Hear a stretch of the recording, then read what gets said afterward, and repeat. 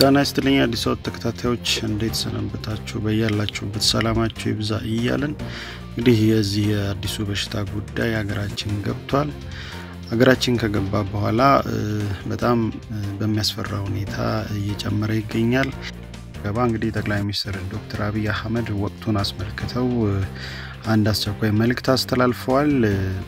እሱን እናቀርብላችኋለን። ትግራይ ክልል እንግዲህ አስቸኳይ አዋጅ አውጃለች። እንደዚሁም አማራ ክልል ምንም አይነት መኪና ወደ ክልል እንዳይገባ ብሏል። ኦሮሚያም ትራንስፖርት አቁሟል። ከአንድ ኦሮሚያ ክልል ወደ ሌላኛው ኦሮሚያ ክልል የሚሄድ ትራንስፖርት የለም። የከተማ አውቶቡሶች፣ ታክሲዎች እንደዚሁም ባጃጆችም ቆመዋል። ሌላው እንግዲህ ብዙ ሰው የአስቸኳይ አዋጅ ሙሉ በሙሉ ኢትዮጵያ ውስጥ መታወጅ አለበት እያለ ነው። እናንተስ እንዴት ታዩታላችሁ? መታወጅ አለበት ወይ? እስቲ እንነጋገር። ለማንኛውም በያላችሁበት ራሳችሁን ጠብቁ። ቀጥሎ እንግዲህ ሙሉ የጠቅላይ ሚኒስትሩን መግለጫ እናቀርብላችኋለን።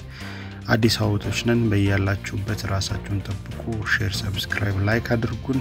በያላችሁበት መልካም ሆኑ። መልካም የጤና ጊዜ ሀገራችንን እንግዲህ ከመጣባት ከዚህ ከአስቸጋሪ ጊዜ ፈጣሪ ታደጋት ዘንድ እኛም እንጸልያለን። እናንተም ጸልዩ። ቀጥታ ወደ ጠቅላይ ሚኒስትሩ መግለጫ ወስዳችኋለሁ። የኮሮና ቫይረስ ለመላው ዓለም አስጨናቂ ሊከላከሉት የማይችል አደገኛ ወረርሽኝ ከሆነ ሰንበትበት ብሏል። በዓለም ላይ ከ600 ሺህ በላይ ሰዎች በዚህ ቫይረስ መጠቃታቸው ተረጋግጧል። ከ30 ሺህ ያላነሰ ሰው ሕይወቱ አልፏል። አሁንም ብዙ ቦታ ጭንቀት፣ ስጋት፣ ፍራቻ ይስተዋላል።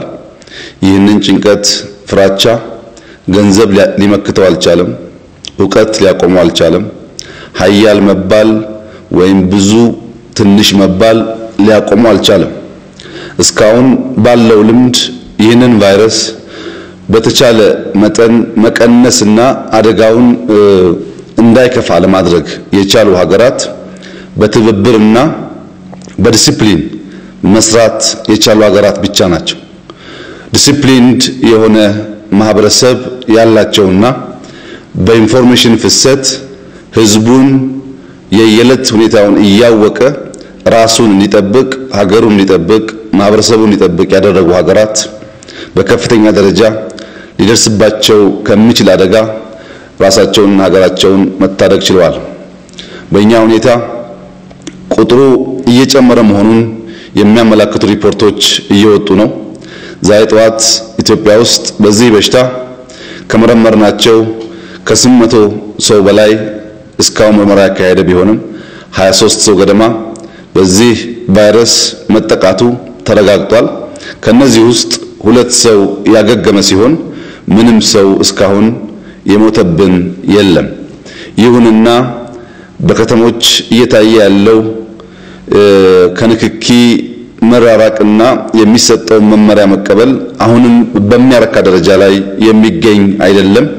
ብዙዎች ኢትዮጵያ ውስጥ በከፋ ሁኔታ ከተገለጠ አሁን ባለው ዲሲፕሊን እንዴት መከላከል ይቻላል የሚል ስጋት አላቸው። ሁላችሁም እንደምታውቁት የተሻለ ሀብት፣ የተሻለ ሆስፒታል፣ የተሻለ አቅም ያላቸው ሀገራት በቀላሉ አደጋውን መከላከል ስላልቻሉ በእኛ ሁኔታ በእንቅርት ላይ ጆሮ ደግፍ እንዳይሆንብን ማህበረሰቡ ከምንም በላይ የመተባበርና በዲሲፕሊን ራሱን ስሜቱን የመግዛት ይህንን ቫይረስ መከላከያ ብቸኛው መንገድ ራስን ማሸነፍና ርቀትን መጠበቅ፣ ንጽህናን መጠበቅ፣ በተቻለ መጠን ከንክኪ ራስን አርቆ ማስገኘት ስለሆነ ይህንን ሁሉም ዜጋ በከፍተኛ የኃላፊነት ስሜት በመተግበር ኢትዮጵያን ከሚገጥማት አደጋ መከላከል እንድንችል በከፍተኛ ትህትና ለመላው የኢትዮጵያ ሕዝብ በድጋሚ ጥያቄ ማቅረብ እፈልጋለሁ። ይህ እንዳለ ሆኖ በሰሞኑ በገጠመን ፈተና እስካሁን ባለው ልምድ በርካቶች የቁርጥ ቀን ዜጋ ማለት ስለ ብዙዎች ሲባል መስዋዕትነት የሚከፍል ነው የሚለውን ሐሳብ በተግባር አሳይተዋል። መስዋዕትነቱ ጊዜን፣ እውቀትን፣ ጉልበትን፣ ገንዘብን ከሁሉም በላይ ራስን መስጠት ሊሆን ይችላል። ሰው ስላለው ወይም ስለተረፈው ብቻ አይሰጥም። መስጠት ለሕዝብ መስዋዕት ለመሆን ከመወሰን ቅን ሐሳብ፣ ጀግንነት የተሞላ ሐሳብ የሚመጣ ነው። በዚህ ፈታኝ ወቅት ገንዘባቸውን፣ ቤታቸውን፣ መኪናቸውን፣ ሆቴላቸውን፣ ሕንጻቸውን፣ እህላቸውን፣ ያላቸውን ሁሉ የሚሰጡ የቁርጥ ቀን ልጆች ኢትዮጵያ እንዳላት ማየት ችለናል። በቂና ብቁ መሳሪያዎች ባልተሟሉበት ሁኔታ ከኔ ለወገኔ ብለው ሕዝባቸውን ለመታደግ የሚሰዉ የሕክምና ባለሙያዎች አግኝተናል። ይህ ጊዜ ያልፋል። እናንተ ሁላችሁ ኢትዮጵያውያን ከኮሮና የሚከላከለው ሰራዊት አባላት ናችሁ። ሁላችንም ይህንን ሰራዊት ከተቀላቀልን ኮሮናን በአጭር ጊዜ የከፋ ጉዳት ሳያስከትል ልናሸንፈው እንችላለን። ኮሮና የማሸነፊያ መንገድ ብቸኛው መንገድ መደመርና disciplined መሆን መሆኑን ከዓለም በተለይም ከቻይና መማር ተችሏል።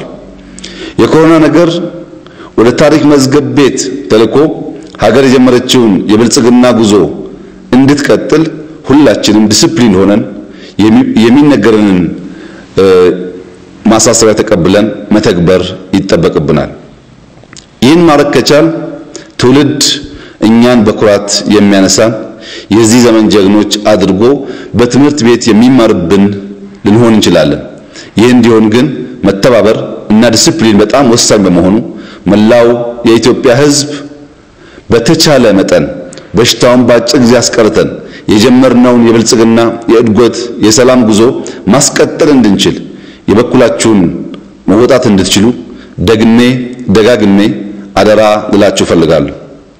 ያላችሁን ሁሉ ለሀገራችሁ በመስጠት ለመስዋዕትነት የተሰለፋችሁትን ኢትዮጵያውያን ሁሉ ሀገራችን ታመሰግናችኋለች።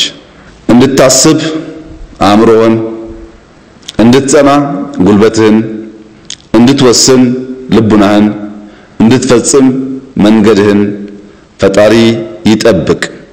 ፈጣሪ በነገር ሁሉ ኢትዮጵያን፣ ሀገራችንን፣ ሕዝባችንን ይጠብቅ። ባለን አቅም ሁሉ ተረባርበን የምንሰራ በሚጎለን ደግሞ እሱ የሚበላበት ይሁን። አመሰግናለሁ።